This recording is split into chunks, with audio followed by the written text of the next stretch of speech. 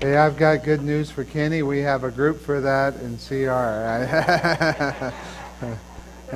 really, uh, none of us can fix ourselves, can we? And, and I know there's a, a lot of effort to try to, to fix even the problems in our own country. It, you know, uh, we are celebrating uh, the fact that we're always going to remember what happened uh, September 11th, this same day, 15 years ago uh, when the towers were crashed into by two planes.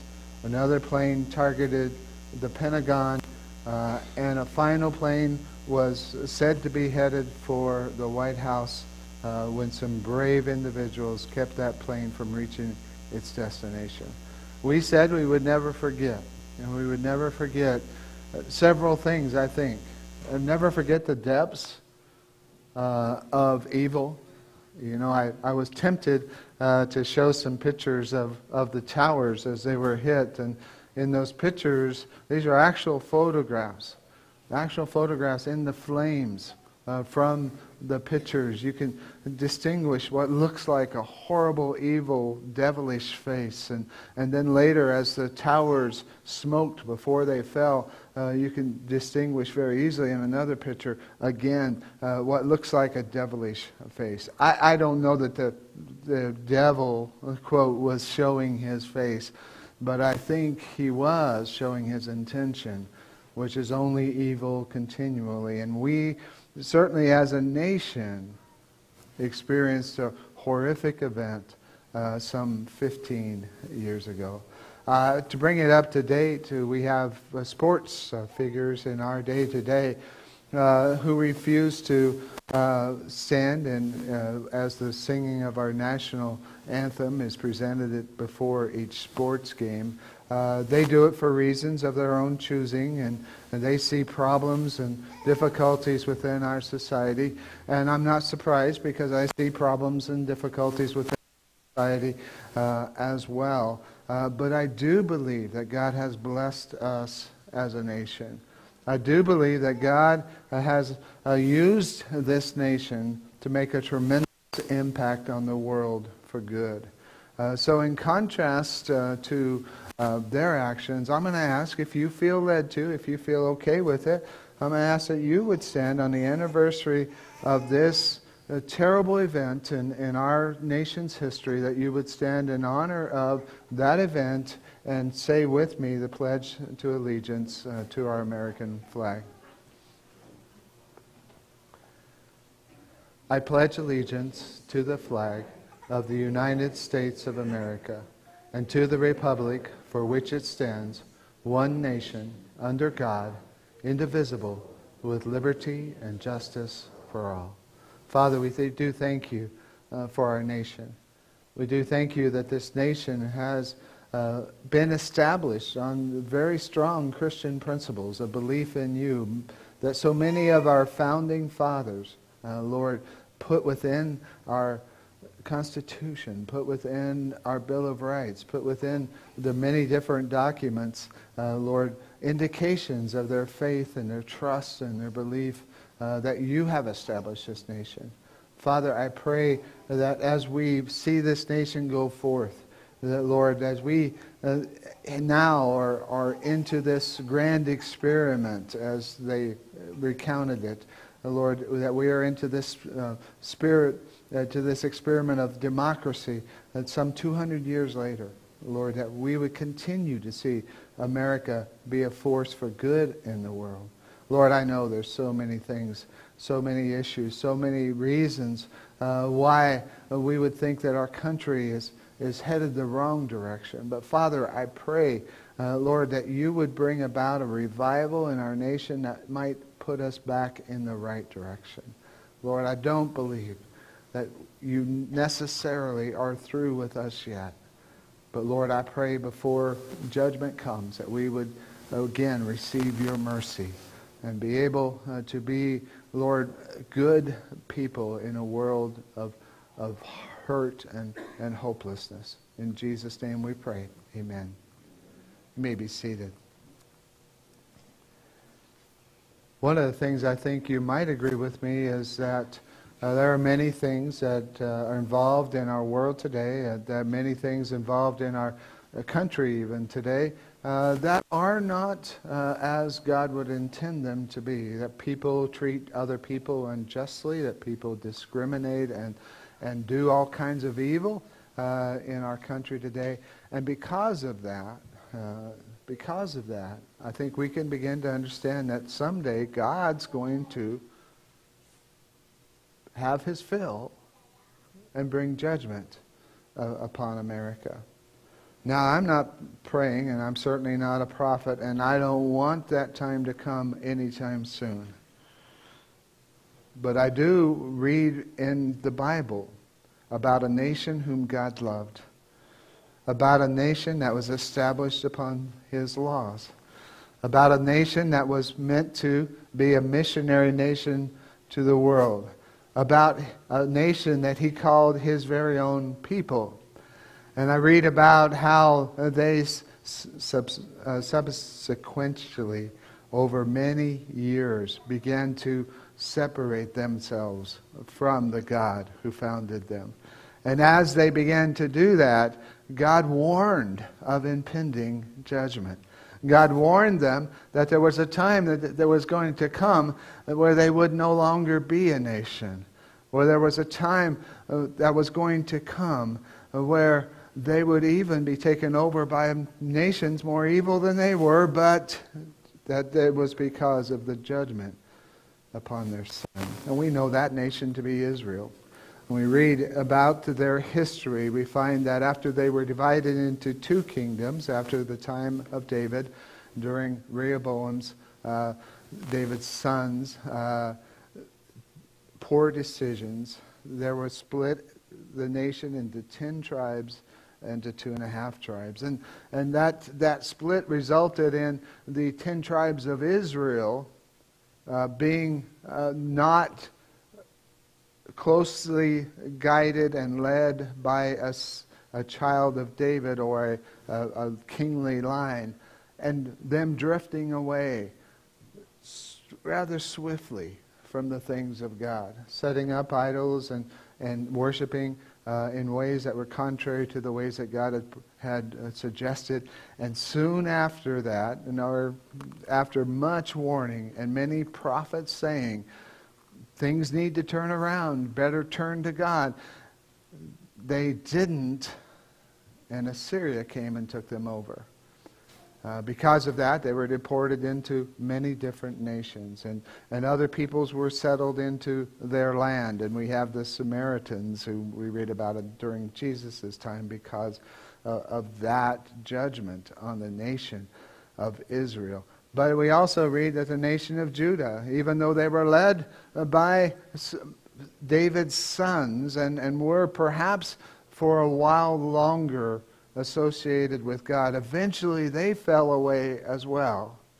Uh, and it was time now for the prophets to warn them of impending judgment. Babylonia was going to come in and take over their nation and was going to spread them throughout the world and was going to impact their lives in terrific way. Their nation would be no more. Uh, Habakkuk was one of those prophets. He prophesied about the same time as Jeremiah. If you would turn in your Bibles to the book of Habakkuk. And I'm going to talk for about 15 minutes while you find it. because uh, the book of Habakkuk is one of the minor prophets. Uh, and though Habakkuk didn't have a large volume of things to say, uh, you only found him on a couple pages of your Bible, uh, what he had to say was very impactful and very important. And I believe speaks to our situation today. I don't know what you believe about America. I believe that I can uh, back it up in historical documentation that America was founded uh, by primarily very godly men. That America was founded upon principles and of democracy and principles of right and justice based on God's Word. That we have a Judean uh, Christian background uh, as a country. uh, that, that we uh, as a country have enjoyed many years of success, in part because we were founded uh, on those principles. I, I, I, think, secondly, I can say uh, from reading more recent history that America has certainly been blessed. Couldn't you say that? Of all the nations of the world, I would say America has received the, the most significant blessings throughout our history as a country. Uh, we've been blessed financially, we've been blessed uh, in, in many different ways. But I would say if you come to the present time, not so much in history, and you read your newspapers and you read, you want newspapers are? Does anybody know what a newspaper is? Okay. Uh, anybody over 30 or so remembers newspapers? Uh, or you read on the internet, or, or you, you read on your phones, uh, present history today, uh, you will find uh, there that uh, times are different for us as a nation. That we have made many different decisions as a people through our political structure, just like Israel did through their political structure. And America is in danger today. I don't think I have to be a prophet to say that if we continue to go the direction we're going, that God's judgment will fall upon America. And I think we need to heed the words that God spoke to his people Israel, that God spoke to the 12 tribes, the two kingdoms, that he spoke to them before their demise. We need to hear that as a nation today. And we need to understand that it need not be our fate that we fall into the hands of a righteous God and to his judgment right now. That instead of that, we can turn to him and experience something completely different than the judgment that is sorely due, that is sorely ours, that is exclusively perhaps of all the nations, that we're responsible for that judgment that He wants to, to give to us something different. I, I, I want to uh, share with you a message uh, about uh, praying for revival. What is it? What should we do to prepare for revival? How do we pray for revival? We have revival services scheduled uh, at the end of this month, but there'll only be meetings unless God visits us, unless the Holy Spirit comes down, unless our hearts are changed. Because revival has to begin in God's church before it can affect the community. America needs revival. If you're a Christian here today, if you know Jesus Christ as your Lord and Savior, then surely your heart is crying out with other Christians today for America to have revival in their experience with God. Surely your heart is crying out, not for a political solution, not for electing uh, some savior that's going to come to us from a political uh, system, but a savior is going, that's going to come to us from heaven.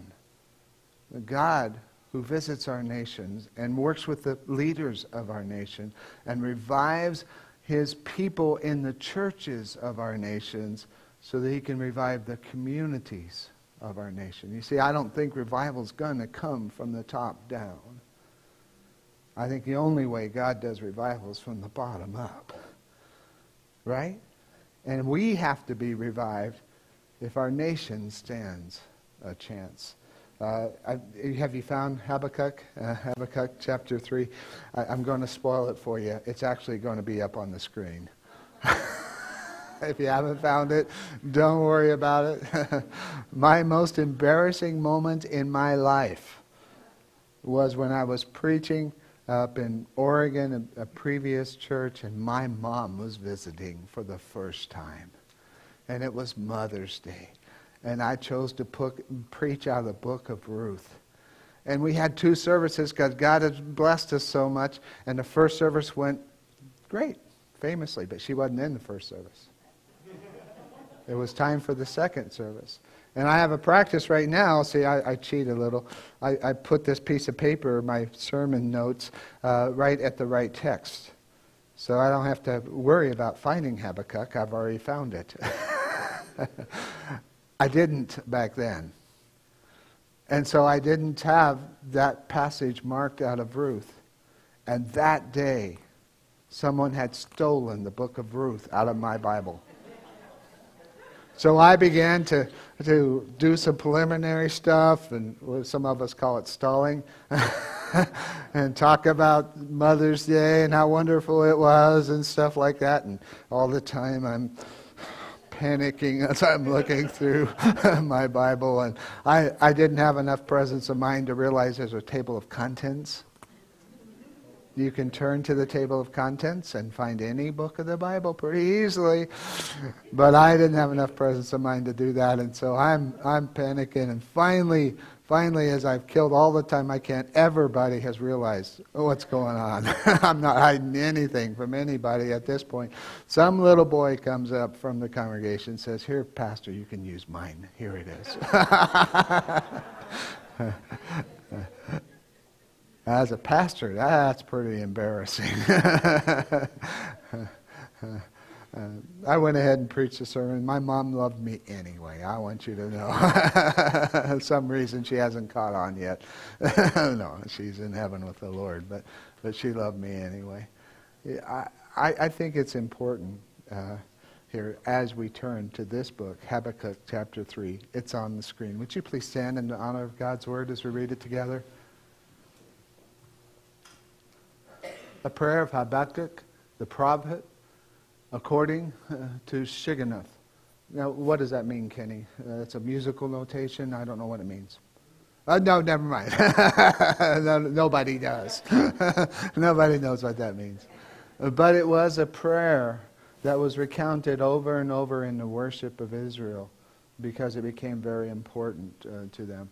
Uh, here Habakkuk says, Lord, I have heard the report about you, and I fear. O Lord, revive your work in the midst of the years. In the midst of the years, make it known. In wrath, remember mercy.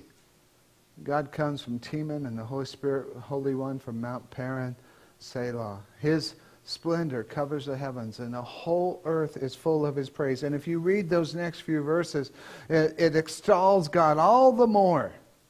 Uh, and that's important as we consider this passage uh, together. Would you bow uh, with me once again in prayer? Father, we pray you'd add your blessing to this understanding of your word, that you would speak to our hearts today as only you can. And Lord, we pray that you would guide our thoughts as we look into your word. In Jesus' name, amen.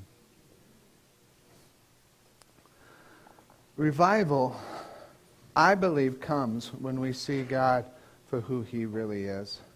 You know, our lives get so full. Our lives get so busy. Uh, we begin to focus on all different kinds of things in our lives. You know, we have work responsibilities, we have family responsibilities, we have social responsibilities, we have uh, all these different kinds of, of things that draw our attention, that take our energy, that oftentimes, oftentimes we fail to see God, to see God at work around us, to see God moving in His church, to see God moving in His community. We fail to recognize God. And Habakkuk was in that position.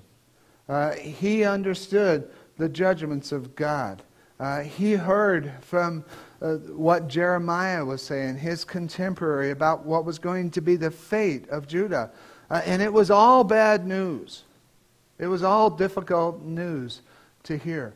You see, the report was about the Babylonians uh, coming in and executing God's judgment on the people of Judah. You know, Judah didn't fall to the Babylonians, Judah fell to the judgment of God. The Babylonians wouldn't have had a chance if Judah would have been where they should be with God. America, as did Rome, I don't believe will fall because some outsized force comes uh, and attacks it ultimately. Yes, there were the barbarians that attacked Rome eventually, but Rome was so weakened before they attacked because they deteriorated from the inside. That's what happened to Judah. And when the report has come to Habakkuk, the report of what's going to happen uh, in these coming days, when that report uh, is known to be God's judgment on the people, it makes him uh, very fearful, very fearful, because he knows God. I, I don't think if our God is a God of love, if our God is a God who accepts everybody like they are, if I, now you're beginning to say, well, isn't that our God? And I would say to you, yes, those are qualities of our God. But if that's all you see in God, we are missing the real opportunity to see God as he really is. If all you see is his love and his mercy, and you miss his judgment, you miss his holiness, you miss his moral fiber and moral character that must deal with sin, then you don't have a true picture of God. I, yesterday, as, as Kim mentioned, man, I was praising God. Uh, it was beautiful to come over from Wolcott to go up to Walden. Walden's up above Steamboat Springs, and then come back through Steamboat Springs and, and down through Craig. And man, we saw some beautiful evidence of our Creator God. Herds of antelope and, and, and different creatures out there in God's beautiful creation, but the one that really got us, and he already mentioned to you, was that big, beautiful bull moose. I have never seen a bull moose in the wild before. And I have never seen a more beautiful animal in all the animals I have seen.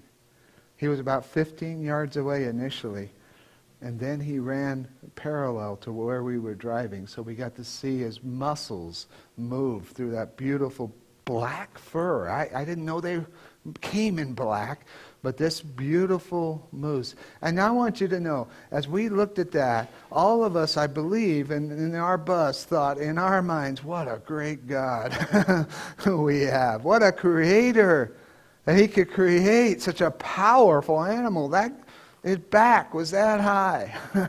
such a powerful animal, such a a big, beautiful creation of God. Well, we got to see the mountains, and, and boy, they're just starting to change color up there. And we're going to see more of that throughout this year, right? We're going to, we're going to look at God's creation and glorify God, aren't we? How can you but do that? We see God in, as creator. And we see God as sustainer as well, right? He set the world in motion, and he didn't just wind it up and walk away. He's still at work in the world today. I, I believe he's at work through those two mission groups. They went up with a purpose in their heart to serve the Lord, and they did. They did. I'd hate to work with the group we had every day. I, they, they wore me out in four and a half hours. I can't imagine what it'd be We'd like to work a whole day, right? that was tough. They, I've never seen a group of people work harder in, in really just serving God and, and serving other people. There's some elderly people who will be able to take the money they would have had to spend on gas to heat their home, and they'll be able to buy food that they wouldn't be able to have without it. Isn't that great? Because of the ministry of some of your fellow Christian brothers and sisters here. Because of the ministry of that church up there who delivers this firewood to the elderly people in the town of Walden. Uh, that's worthwhile, isn't it? That's something important. That's something where God is at work. And every one of us just saw the hand of God. Believe me, 12 of us working in concert. You know, some of these guys are hard to work with, right, Tom? Uh, yeah. 12 of us working in concert to, to see the Lord's will being done. It was, it was a great time. It was a great experience. It was God at work in the present. And next week, next week at the early service. I don't know why the early service seems to have gotten to be the bigger service for some reason. I guess uh, I guess they get people get up earlier today than they used to. I always expected this service to be the largest, but but next week if you come to the early service, and maybe that's why I keep advertising it. Uh, if you come to the early service, you'll see a fellow who's been attending our church for two or three months now, whose life has radically been changed. He's in his 40s He's going to be baptized for the first time next week, next Sunday morning. Isn't that great? And, and, and he and his friend and other uh, in our church will tell you how God is at work to, to change their lives. God is at work in the present, folks, and we need to glorify him for that. Amen? Isn't it great to see God sustaining his creation, including us, including his greatest act of creation, people? He is in the work sustaining his creation. But you know, there's going to come a time when time will be no more. There's going to come a time when God will bring about the completion of all that we know and all that we see. Ultimately, we are told in the Bible, we study about it on Sunday nights in our Revelation class, we are told in the Bible that there's going to come a time when God's judgment will come. Now, I don't like to see God that way. That is not a pleasant picture of God for me when I think about his judgment. And yet, if I recognize all the other good things about God, I must recognize this good thing as well. Because it's not a bad thing. God could not be holy unless he was just. God could not be just unless there was a payment for sin. Now, God is loving and merciful, so he provided the remedy for that payment. But he has to be just in enacting judgment because of the rebellion and sinfulness of man. We think back to, night, to uh, September 11th, 2001, and we think about the evilness of those people involved in that. And I'm telling you, they are going to face God someday and face his judgment. We don't have to enact revenge on them, and we can't, obviously, they're dead, but they are going to face God someday. Honestly, I tell you, every one of us is going to face God someday. And if our sins are not forgiven, we will stand accountable for our sins before Him someday.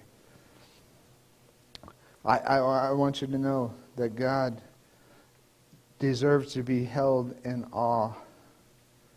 He deserves to be held in awe. But he also, when hearing about his judgment, when hearing about that part of God's nature, when understanding who God really is, there ought to also be a little bit of fear. Now, I don't believe it ought to be fear on the behalf of Christians worried about our future because we are redeemed by the blood of the Lamb. Amen? Because Jesus has saved our souls. And isn't that great? But aren't we selfish if we're only concerned about ourselves?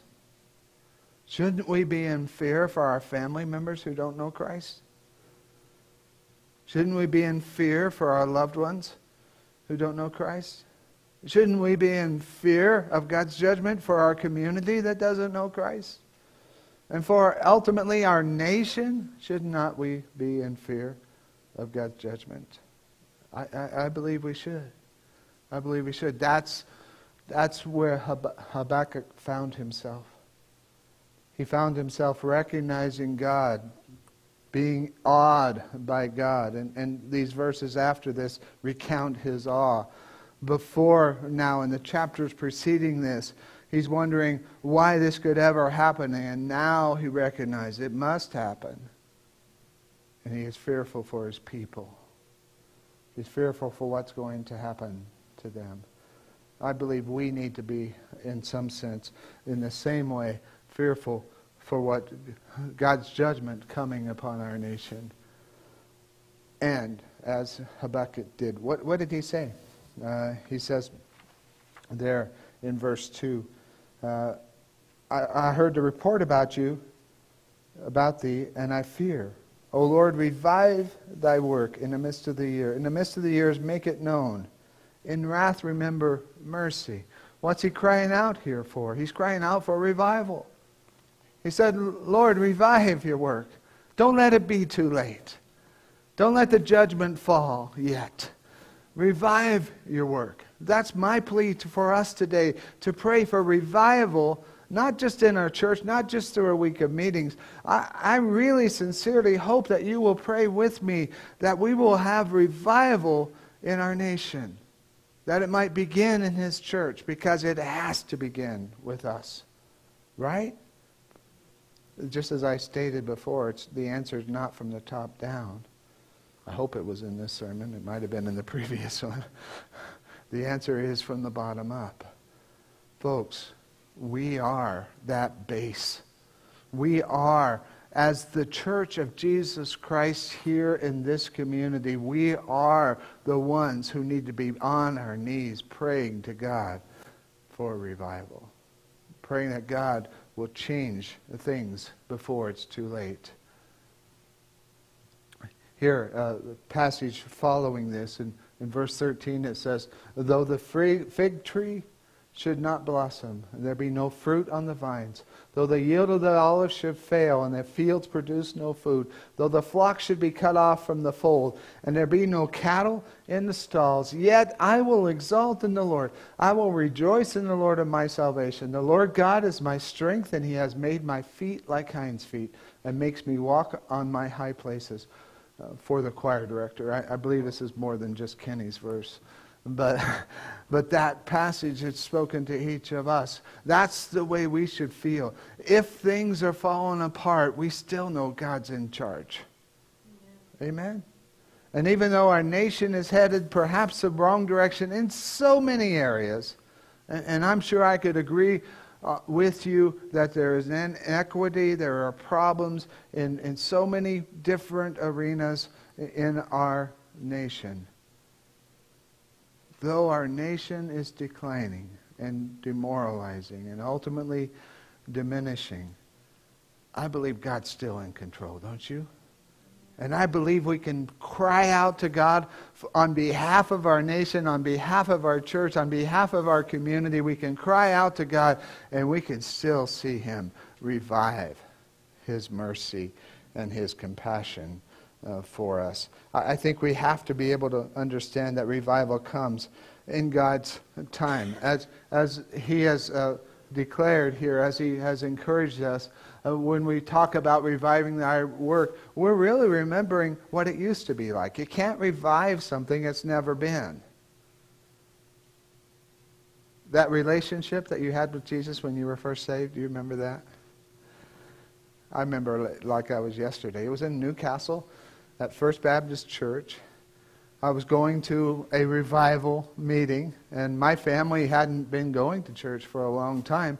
But for some reason, we were going to this one. My sisters and brothers, some of them married and gone, but they came back for this revival. I, I remember as a 12 year old boy, I remember God speaking to my heart one night. And as a Harris, I stubbornly refused. to submit to God speaking to my heart. And I hung on to the pew. I remember how there must have been nail prints or fingernail prints in that pew after that night because I going up in front of all those people that was scary to me. Uh, but I knew what I needed to do, and I couldn't wait for revival to begin the next night. And I couldn't wait for that silly preacher to get done saying what he was saying because I had already made a decision in my heart and I knew what I needed to do. Maybe you're in that same position, not about waiting for the preacher to get done with what he's saying. Uh, I didn't mean that part. but maybe you're in that position where you know what God wants you to do.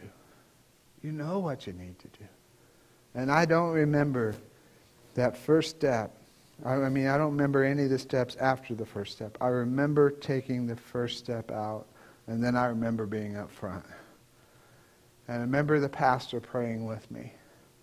And I remember this tremendous weight. 12 years old, I was packing all this stuff. I remember this tremendous weight being gone from my shoulders as the Lord forgave me of my sins. I, I remember that day like it was yesterday.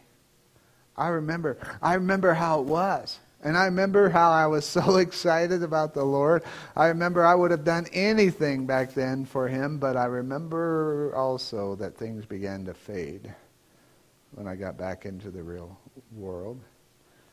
I was not too far from going to high school, and I figured out what it takes to be popular in high school. You just have to do what the popular kids do. And none of it was good. and so that's what I began to do.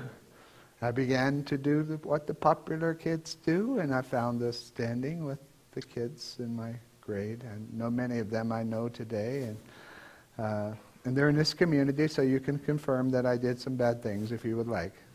And some have volunteered to come and give a public testimony of, of all the bad things I've done.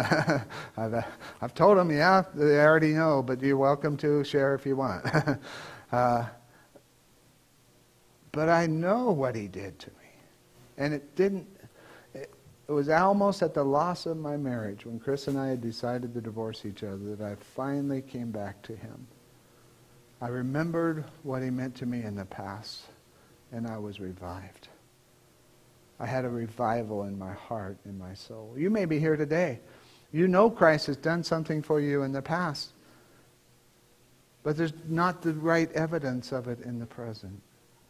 Maybe today you need to look back and see what he's done, to hear the report from the Lord what you mean to him and what he has saved you from. I think we need to revive the work in the midst of the years, he said. Uh, he asked God to work in the present, in the midst of this time, uh, with what's going on. Revive itself means to look back, but here he's asking for that kind of relationship to bring back that kind of relationship, to come back to that kind of relationship. Maybe you're here today and your prayer would be to him to revive in the midst of the years, your heart, your relationship with Him. Revival comes how and when God wants it. Uh, here the prophet says, uh, there's going to be revi- revival come. I'd rather not it come through wrath, but I'd rather it come through mercy. Now, in the life of the nation that he's pro- prophesying to, it came through wrath. The nation was overcome. The people were scattered the people did experience a, a, a terrible, terrible loss of their national identity, a loss of their national presence, a loss of their national pride, a personal loss of all possessions uh, and, and standing in their community. And they were scattered throughout the world. In God's wrath, he brought them back to himself. 70 years later, they came back into the land to repeat the whole thing again. In 1948, they came back into the land again. Revive. God's wrath in the midst of wrath. Sometimes the only way we get on our knees is to have our legs knocked out from under us. Right? Sometimes it has to be through judgment that we finally turn back to God. The prophet asks for mercy in the midst of wrath. And we so need to ask for mercy in the midst of wrath. I, will tell you, I've learned an interesting thing about a, a bird sleeping on a perch. Have, have, you ever noticed how, how birds can, can be on a, a little bitty limb and, and they somehow they fall asleep and they stay upright? How is that possible? I can hardly stay in a big king size bed through the whole night. uh, how do they stay on that little bitty limb? Well, scientists have studied that, and, and what it is is, is uh, when they bend their knees just a little bit, there are tendons in their legs that lock their claws so that when they bend their knees and fall asleep, they crutch or they catch and, and clasp that limb and so greatly that they stay in that position all night long. And when they wake up and get off their knees, they can fly. Now, I want you to think about that for us Christians. Think about that. what should we do? Let's bend our knees before God and receive the strength to be stable no matter what happens around us. Let's get on our knees before God so that when we wake up, when we receive His Word, when we get right with Him, we can fly. We can fly. It takes the bending of the knee to be able to fly the next day, to have the strength to fly. Folks, it takes a bending of our knee to get the strength we need to fly like God wants us to fly, to be revived in our hearts and in our souls. And we need to bend that same knee. Uh, we need to understand that revival comes when God's people pray. Uh, this passage out of Second Chronicles 7, 13 through 14. And it's in the dedication of, of the temple. Solomon has built this wonderful temple. It's the highlight of all of the Israelites' life. I mean, this is the day uh, that they are more happy than they will have ever been or will ever be, perhaps. Uh, this is the day that the dedication of the temple of God is being performed. And Solomon prays to God in his dedication to the temple, and God answers Solomon back. This is God's answer. He says, If I shut up the heavens so that there is no rain, if I command the locusts to devour the land, or if I send pestilence among my people, and my people who are called by my name humble themselves and pray and seek my face and turn from their wicked ways, then I will hear from heaven will forgive their sin and will heal their land. Isn't that a verse we need to hear in America today? Isn't that a verse we need to hear in New Life Fellowship today? Isn't that a verse we need to hear in our own hearts today? Has the land been devoured? Are there things wrong with our country? Are there things wrong in our community? Uh, are perhaps have perhaps we moved away from God in our hearts. We need to hear God's remedy. If my people who are called by my name, there's a relationship that was there before. This is talking about revival. The relationship that was there before. If my people who are called by my name shall humble themselves. That is so hard to do. You know, Kenny's song put it well. I can't fix myself. Right? That's the humbling that we need. To realize we can't do it ourselves. My people who are called by my name shall humble themselves, shall pray, pray and seek my face. We know where the answer comes from. Like Habakkuk, Habakkuk, we are looking to an exalted God. We understand who He is. We understand our resources in Him. We can't fix ourselves. We know who can fix us and it's God. Seek my face and turn from their wicked way. There must be repentance for there to be revival. We have to recognize that we're going the wrong way before we can go the right way. You can be lost up in the woods. As long as you don't recognize you're lost, you're happy as can be. but you're no safer than you were. You have to recognize you're lost in order to be found. Right? In order to seek help. You have to recognize you're lost. We have to do that in our hearts as well. We must turn from our wicked way. And what does God promise us? I love this. He will hear from heaven. Isn't that wonderful to know that God's going to hear us? That He will forgive our sins. And uh, boy, only God can do that. Amen. And that He will heal our hearts is implied in that. But here he's talking to his people. He says, I will heal their land as well. What a promise from God.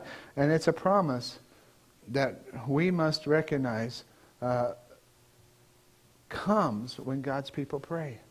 No great revival, no great awakening, nothing that has touched our nation and made a difference in our nation did not come except by an act of God's people praying.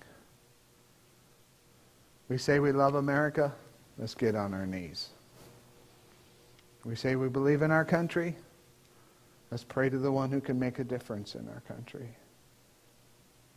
Let's get on our knees before God. What do we need to pray for? For forgiveness. That passage says in 1 John 1 9, if we confess our sins, he is faithful and just to forgive us our sins and to cleanse us from all unrighteousness.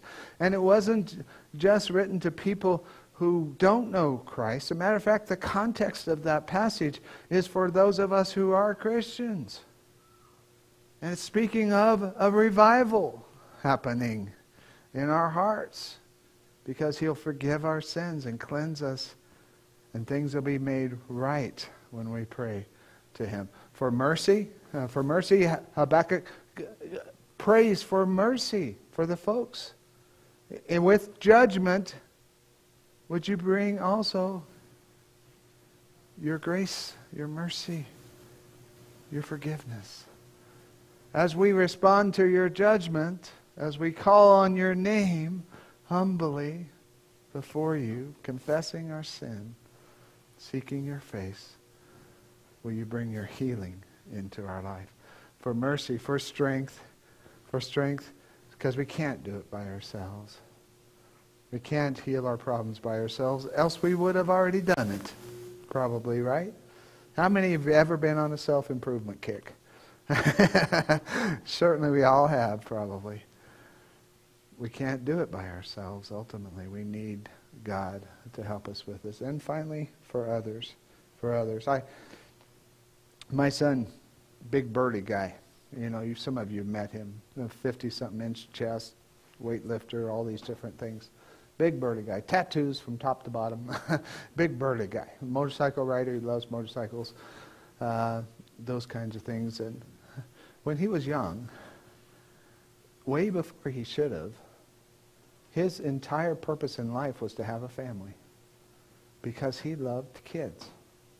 I don't know how he got such a, a purpose in his heart, but, but that's what he wanted to do. He wasn't really interested that much in the girl thing because back then girls had uh, disease problems. Cooties is what we used to call them. I mean, when we were young.